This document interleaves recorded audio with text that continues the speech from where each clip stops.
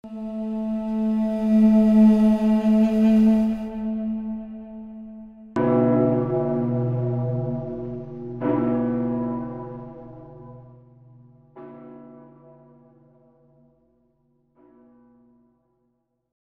diría, filosóficamente España se encuentra en el siglo IV, cuando los bárbaros rompen las primeras barreras romanas, que era la línea del Rin. ¿Eh? Cuando rompen la línea del, Danubio y del Rin, ¿eh? que, son los bárbaros, se van entrando.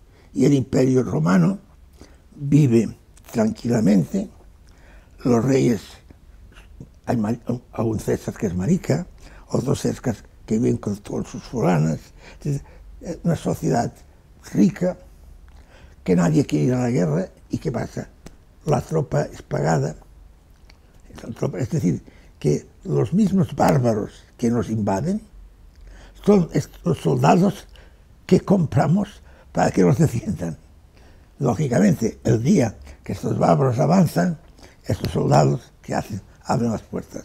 Y el imperio romano se hunde en el siglo IV por la malicia, no malicia, por la, por la, por la malicia ¿eh? de un imperio que vive bien, como nosotros, vive perfectamente, con sus campos, con sus césares divirtiéndose, un pueblo tranquilo, con sus saunas, sobre todo las saunas romanas, vive la pepa, pero no hay un soldado romano que defienda las fronteras.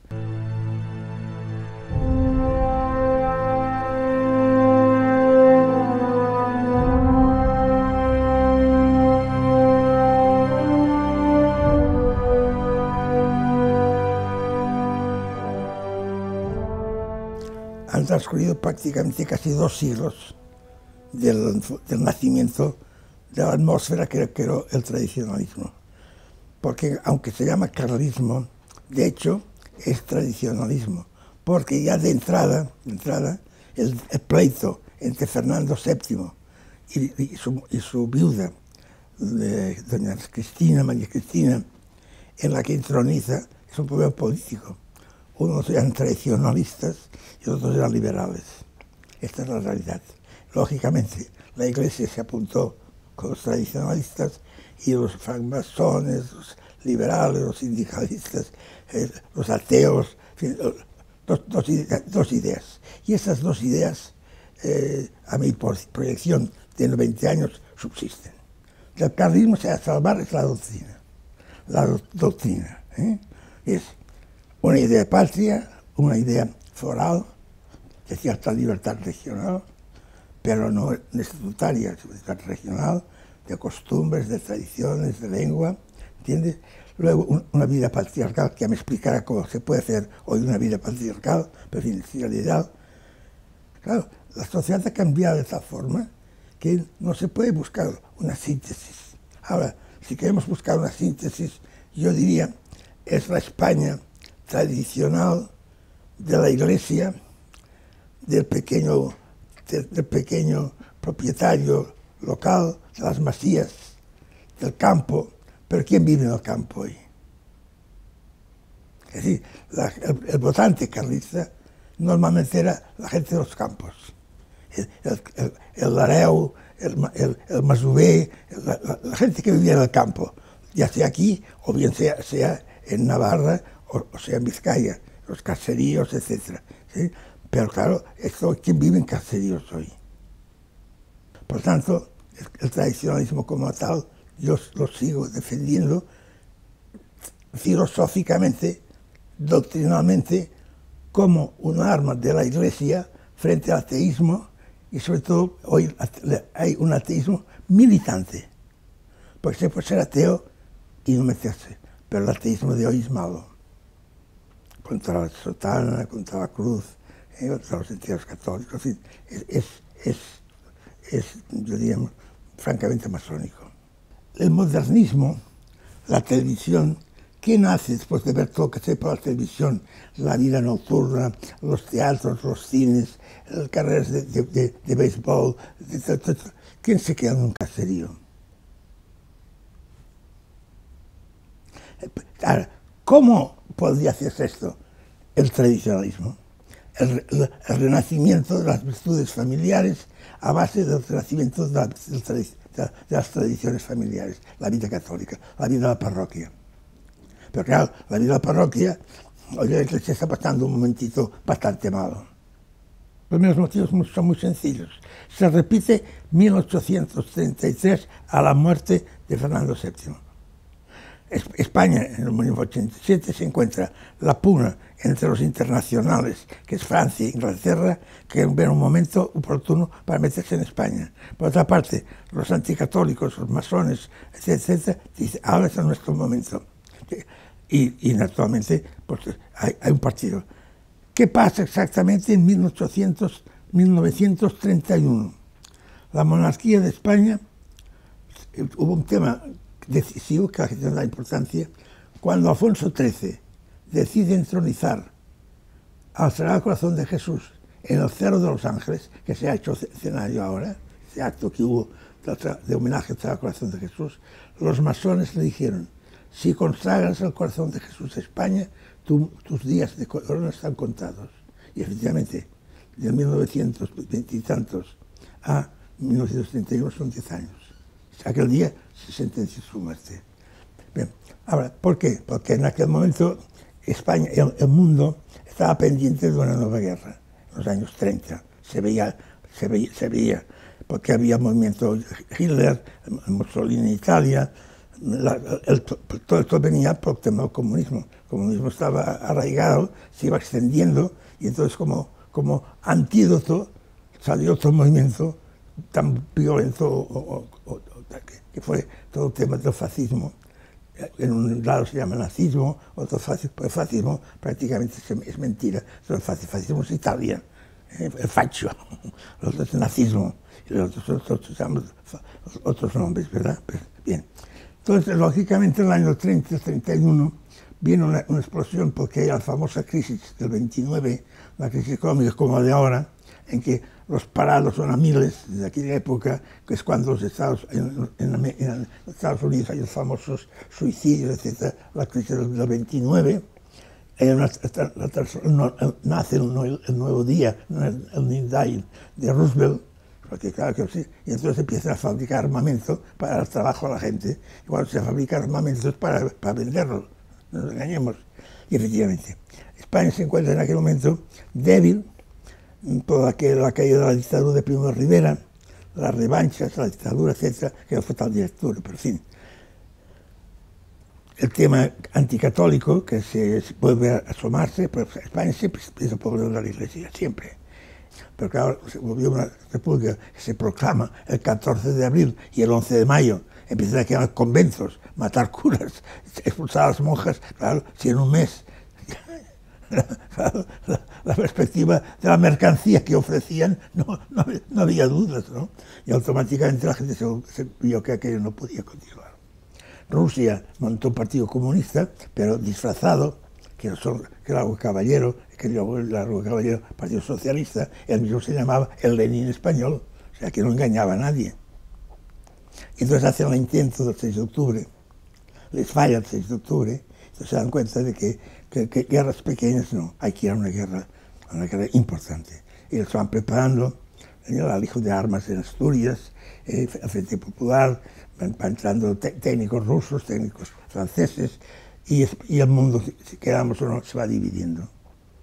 Entre Alemania, entonces ya pasa Austria, pasa Hungría, Albania, Italia, Abisinia, es decir, Rusia, Rusia se, se acerca a Polonia, decir, que se va dibujando en el mundo y efectivamente el año 1936 eh, la división era clarísima.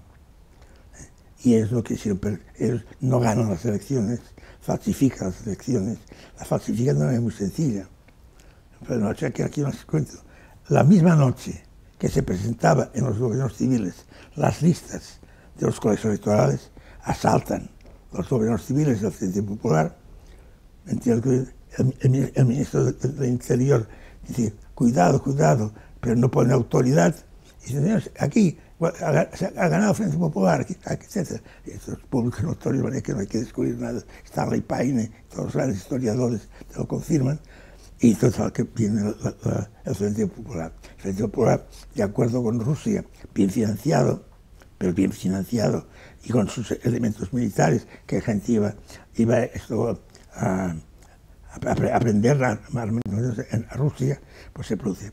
Y entonces el carlismo es cuando vuelve a renacer, pero vuelve a renacer por el tema católico porque acá los curas se sienten asesinados, las iglesias quemadas. Yo recuerdo que era pequeño, 14 años y 13 años. Yo iba a dormir con mi padre a los conventos de monjas, porque como querían asaltar los conventos de monjas, pobres mujeres, pues iban unos, cuantos hombres pues, a, evitar que, esto que, que, hubiera, que, hubiera esto. Nosotros llevábamos detentes balas, porque en el fondo nos sentíamos eh, soldados de Cristo más que, más que políticos.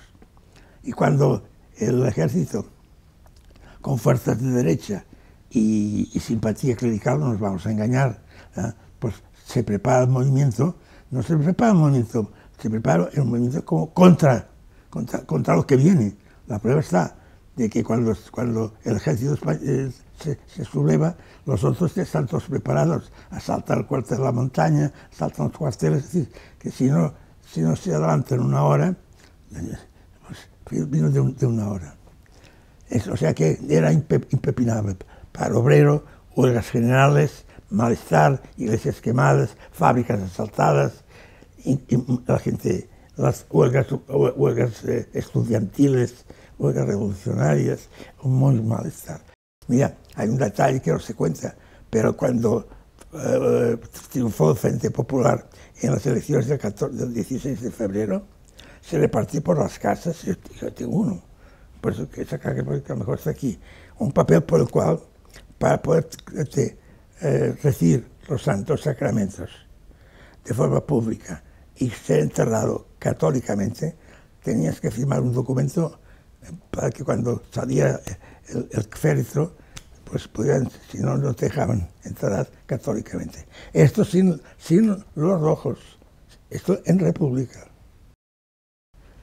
Cuando una familia carlista le comunicaron que había que sublevarse porque iba a asaltar el Palacio Episcopal con el doctor Irurita, que lo, mataron, etcétera, etcétera, pues claro, todas estas familias carlistas pues movilizaron a sus hijos. Yo era requeté y por lo tanto, pues tenía 15 años y entonces pues, vino mi padre, me acuerdo que me, me, arrodillé delante de él, me bendijo y me dijo, hijo mío, cumplí con tu deber. Y entonces me marché al cuartel de caballería de, la, calle Tarragona, la calle Tarragona, donde allí me alisté. Como tenía 15 años no me, no me querían alistar como soldado, pero podían, podían alistarse como trompeta como, músico, me acuerdo, como trompeta. Entonces a las 4 de la madrugada salimos todos los requetés ya con la tropa uniformados a, tomar posiciones. Y tomamos la plaza de universidad, las calles Pelayo, la Ronda, la calle Montaner, todo, todo, todo, todo el núcleo de la universidad y otros regimientos otros.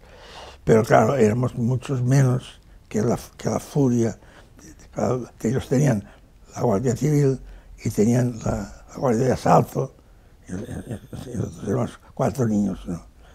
Pero salimos, nos defendimos como pudimos, al final pues caímos prisioneros.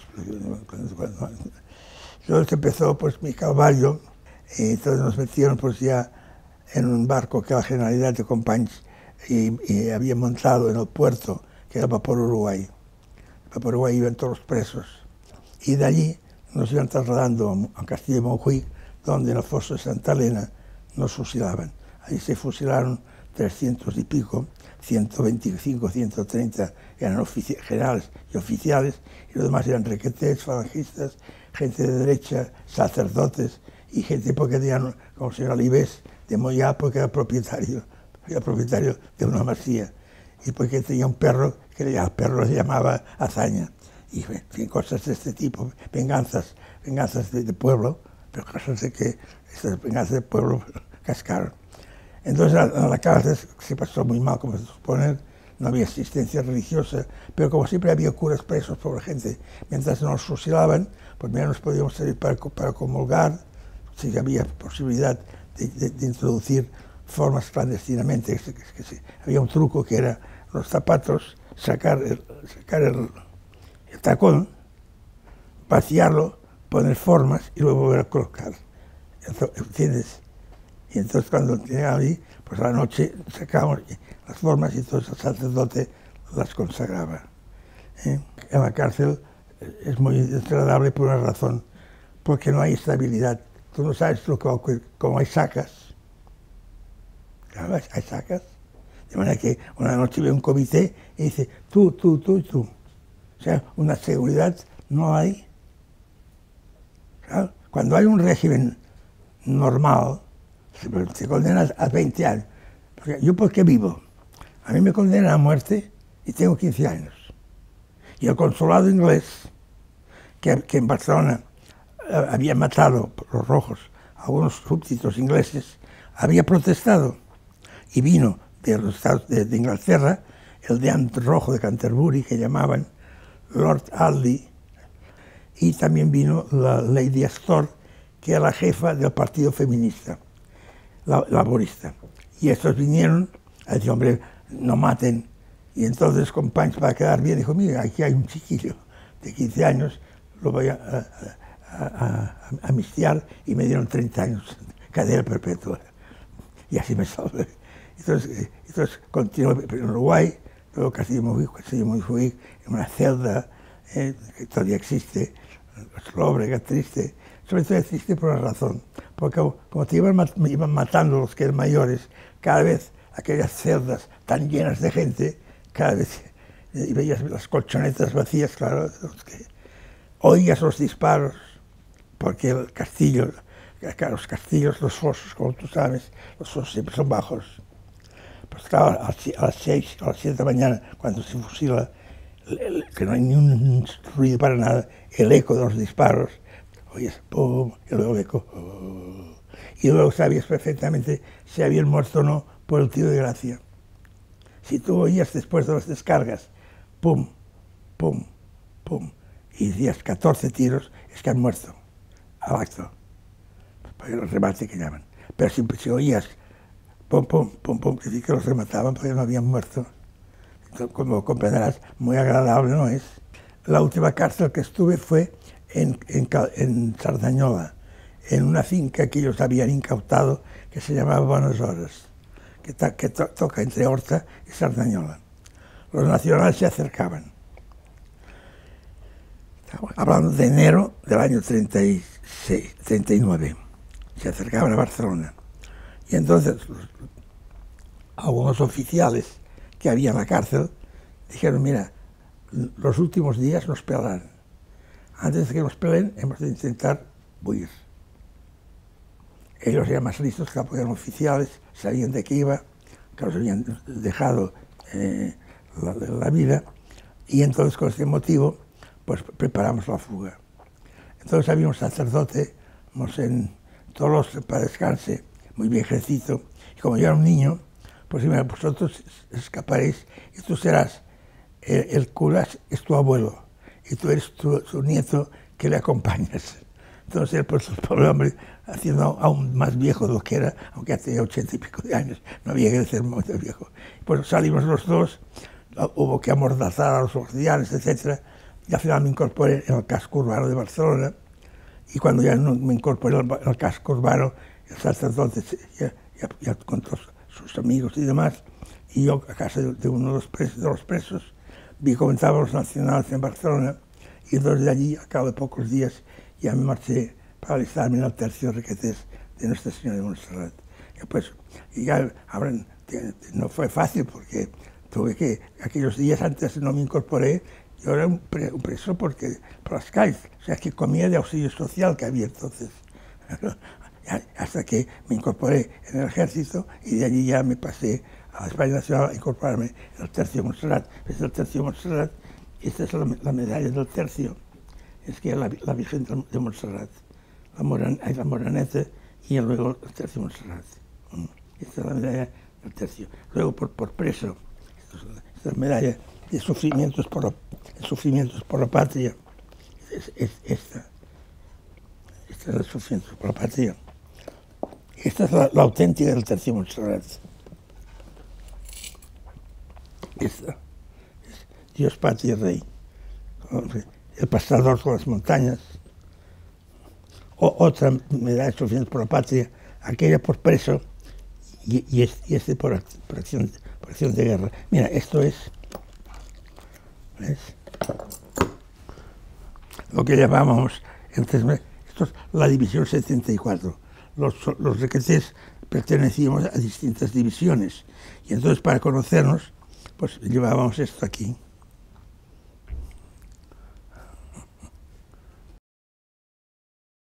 Yo era de Barcelona y ya con mi padre de pequeño ya me habían alistado en el requete de Barcelona.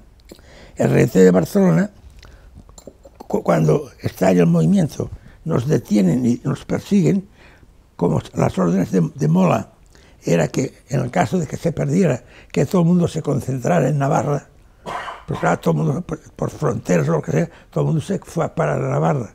Entonces en Navarra hicieron tercios, hicieron tercios, tercios gallegos, tercios navarros, hicieron tercio catalán. Y hicieron tercio catalán por la Virgen de Montserrat. Claro, cuando yo llegué allí, como yo durante en la cárcel, ya tenía noticias de la existencia del tercio de la Virgen de Montserrat, donde quería que fuera. Pues, pues fue el tercio de la Virgen de Montserrat. Miren, la, Virgen de Montserrat para mí tiene solamente un nombre, que es la Madre de Dios. Entonces, como Madre de Dios, tiene la vocación que cada pueblo le da, la Virgen de Lourdes, de Fátima, etcétera, etcétera.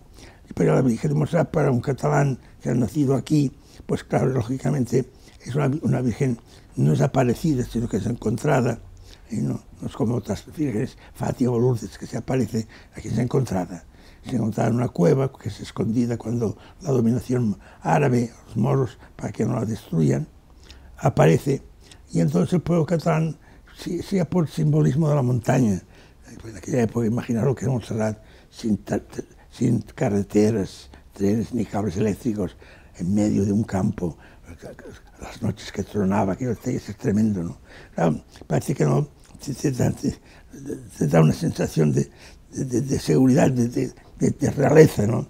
Y claro, entonces la devoción, pues, además, como todas las parroquias, se organizaban cada año una peregrinación a Montserrat, todas parroquias.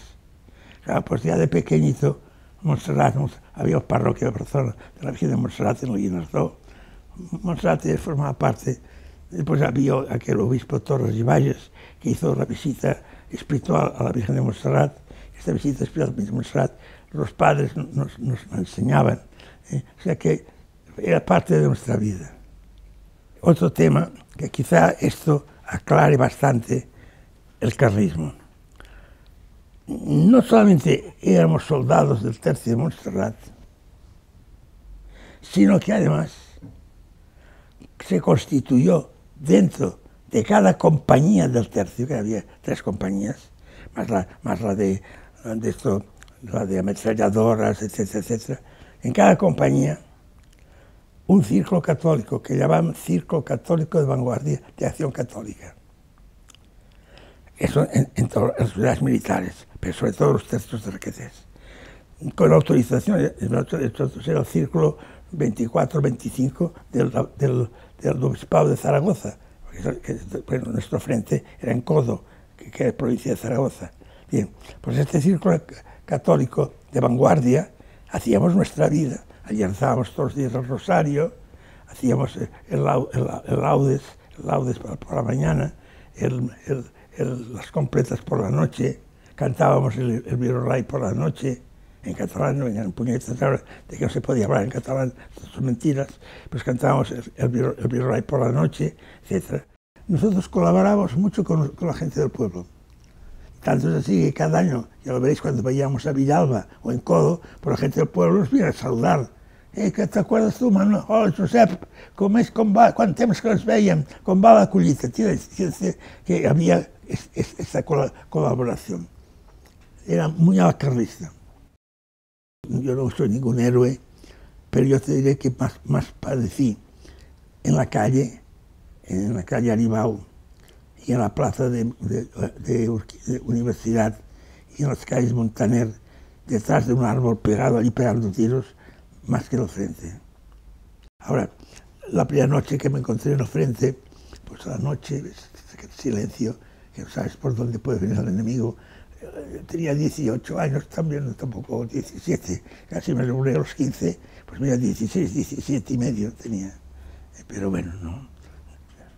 Yo precisamente perdí a grandes amigos, porque como yo me había formado con el requete de Barcelona, y los supervivientes del tercio requete de Barcelona se habían pasado a España Nacional en el tercio de Montserrat, cuando me vieron, hola, porque me llaman el Pelayo, porque era más pequeñito. Hola, ¿qué haces tú, Pelayo, por aquí? Si, todavía estás con, tu madre, hombre, si esto es un chico. realmente, yo voy a dar únicamente una pregunta que la di en un periódico inglés. Y la repetiré siempre ante nuestro Señor y en la hora de la muerte. Yo salí, como todos los requetes de Cataluña, sin una lista con nombres que matar, ni con centros que asaltar, ni con bancos que asaltar. Salimos con un rosario y era restaurar la Iglesia Católica Apostólica, la libertad religiosa en las calles, la enseñanza católica, eh, en los colegios y la libertad de los, de los, sacramentos, los sacramentos y la libertad de los sacerdotes y con sotana por la calle. Esta es la realidad. Todo lo demás que se cuente es una mentira. Es decir, ni uno se quedó, salió diciendo usted cuando pase por acá y tal, el cuarto piso primero hay, hay un rojo, mátelo. Nunca. Nadie salió con ninguna lista que tuviéramos que, matar a nadie. Esto, esto, esto, esto, es la gran gloria que se puede decir ante el mundo. Tanto es así que fijaros que el prólogo del libro Requedés, el famoso inglés Stanley Paine, que dice, salieron sin, sin pedir la gloria, ni tampoco la obtuvieron. Se sacrificaron, lo dieron todo, pero no obtuvieron nada. Ninguno de nuestros requetés se ha hecho rico, tenido cargos, porque nosotros aquel día salimos exclusivamente para defensa de la Iglesia Católica Apostólica Romana. Los capellanes castrenses eran muy queridos por el pueblo, porque claro, los pueblos que íbamos conquistando no había cura porque los habían matado. Entonces este cura pues, empezaba a casar gente, a bautizar gente que, que, durante tres años no, habían podido casarse ni bautizarse. Se vivía con un fervor loco era, un, altar portátil de madera pequeñito en la que cabía el, cáliz, el copón y, luego el, misal era pequeñito, ya lo ves de Montserrat, pequeñito, y entonces pues la misa se decía de espalda al pueblo, entonces nos poníamos alrededor, cantábamos unas canciones y comulgábamos allí. Antes los que querían confesarse se confesaban y, y luego, pues cuando, cuando te mataba y te hería, pues venía el cura, te, te daba la, la, o te daba ya la bendición final. Había una, una canción carlista que para els soldats visca Carles VII, ja ressona avui a Espanya, tot és glòria, aventura i plaer, batallons visca el rei. Ara, ara el rei nostre senyor ha arribat a l'entera. sí, ja. I, i, i, després el Virolai me encontré que mi padre había estado preso y prácticamente era un cadáver. Mi hermana estaba casada en Mallorca. Mi hermano en un campo de concentración porque estoy hablando del momento de, que salgo de la cárcel. ¿eh? Mi piso saqueado. Porque mi padre en la cárcel, yo en la cárcel, mi hermana tuvo que marcharse, de manera que sin piso no tengo un recuerdo casi de nada de, mi nacimiento, ni mi, mi vestidito de bautismo, nada. No, me queda un crucifijo de la primera comunión que tengo en la habitación. Entonces me puse a trabajar. Y como con la cárcel yo había conocido a, Joaquín Sopena, que era el director de la editorial Sopena, pues fui a verle a pedirle trabajo.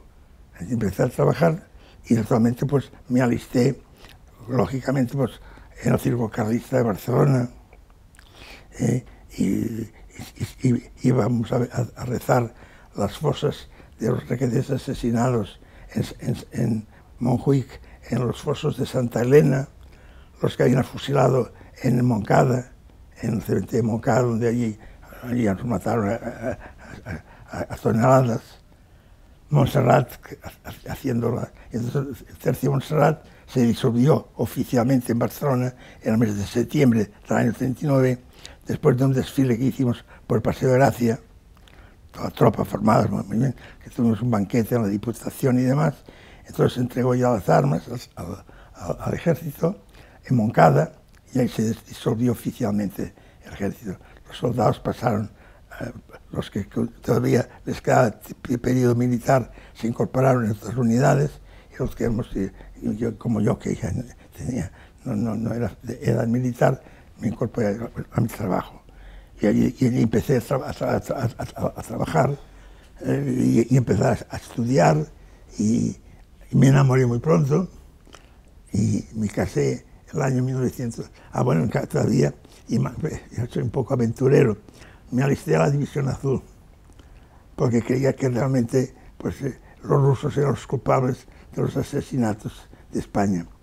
Pero Dios nuestro Señor quiso que mi mujer, mi novia, rezó desesperadamente para que hubiera un, entuerto. Y efectivamente, a pasar a la revista militar, a la revista del médico militar, me encontró una, una de esto, ¿cómo se llama esto del hígado? Una hepatitis, una hepatitis muy fuerte y una anemia. Claro, de la cárcel, y una anemia muy fuerte. Y entonces me dieron por inútil. con lo cual, no, me dejaron seguir a Alemania y me, volvieron para, para, España. Hubo años muy difíciles, porque para comprar patatas había que coger los domingos, irte a los pueblos de alrededor, a buscar patatas, a buscar almendras, en fin. Fueron años muy difíciles. Pero bueno, salimos. Entonces, entonces hice unas oposiciones, entré en la Diputación de Barcelona, entonces ya tenía un, un, sueldecito fijo todos los meses y la cosa ya... Entonces, mira, la gente se enamoró de mí, perdone la expresión, creyeron que el tema del protocolo lo dominaba muy bien, me dediqué a estudiar a, fondo todo el tema del, del, derecho premiado, que derecho premiado es una asignatura que estoy intentando que, que, que, coja oficialidad en todas las universidades, que esto es el conjunto de todas las legislaciones encaminadas al, ciudadano, los honores, distinciones, condecoraciones, etcétera, todo lo que sea enaltecer la figura del ciudadano a través del protocolo. Bien, entonces esto gustó, he publicado entre una cosa y otra más de 120 libros de historia, religión y protocolo. He escrito mucho sobre el cister y, todo me ha tenido que hacer yo solito. De manera que no. Sido muy dura la vida. ¿eh?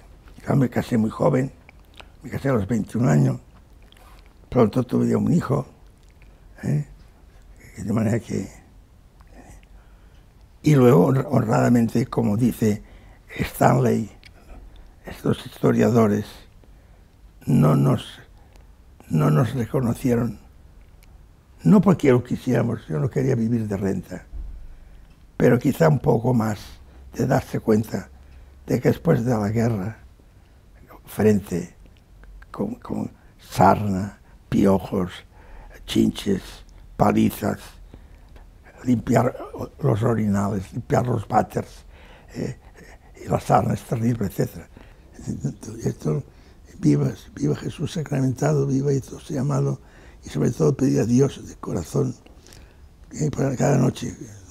Incluso yo, ahora que que tengo a Josefina, mi mujer, al cielo, le digo, mamá, tú que estás cerca de Dios, pide al Señor la paz de España, que no nos volvamos a matar. Pídele que el corazón de Jesús reine en España, que no haya abortos, que, que, la familia, el tronco de la familia, los padres, los hijos, que se amen, que se respete a las doncellas, que se respete a las niñas, Señor, tú desde el cielo lo puedes hacer, que España vuelva a ser buena, una, grande y libre. En fin, que, que vuelva, como tú dijiste, a, a, un santo sacerdote que ha, sido Hoyos, padre Hoyos, que ha sido beatificado por Santo Padre en Valladolid hace unos meses, que dijo que será el corazón que se le apareció. Yo requiero gracias porque rezáis por mí y para que yo reine en el mundo. Yo reinaré en el mundo, pero de una manera muy especial reinaré en España. Esta es la ilusión en la que siempre hemos querido que el corazón de Jesús reine en esta España tan dividida y tan, afligida por la incomprensión de del temperamento nacional, un pueblo muy, muy, muy, muy indígena. Somos, somos cada rey, cada español es un rey, muy indisciplinados, pero a la hora de hablar es un país de, de poetas, santos y mártires.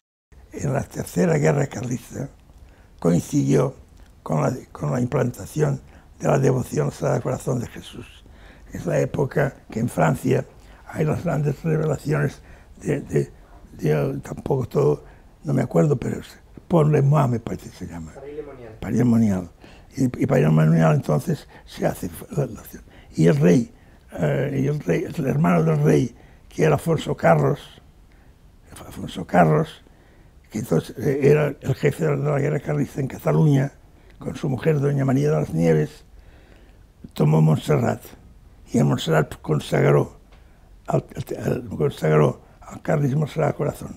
Y al consagrar Sagrado Corazón dijo, si yo nunca triunfo, en el, escudo de España figurará el Sagrado Corazón de Jesús. Y efectivamente los escudos del tercio, no, del tercio carlistas, hay, eh, hay encima de las flores de lis un, cuartel pequeño con el Sagrado Corazón que no, que no nos agrupemos con ideas más del siglo XX y que, y que confiemos en que todavía somos una, una esperanza para la cristianización de España y para la salvación de la familia y de estas pobres jóvenes que, que, que, da pena como las ves por las calles. Hace cuatro meses hoy la muerte de mi mujer, después de 68 años casados y dos de, de, novios, 70 años, donde estaba la niña sentada, mamá estaba siempre aquí, yo estaba en casa, le daba un besito, y, porque no se podía levantar mucho, cada, vez que entro, en casa y no la veo, aunque no quiera, pues... Y lógicamente, el día que se, liberó Barcelona y vi otra vez a mis amigos que salían de la cárcel, mi padre salía de la cárcel, toda, toda la gente, lloré aquel día, eh, también lloré el día que el, tercio de Montserrat subimos a, la montaña con, nuestra boina, ¿eh? y, con nuestra boina, y allí entregamos la bandera, porque la bandera del Tercio de Montserrat está depositada a los pies de la Virgen de Montserrat.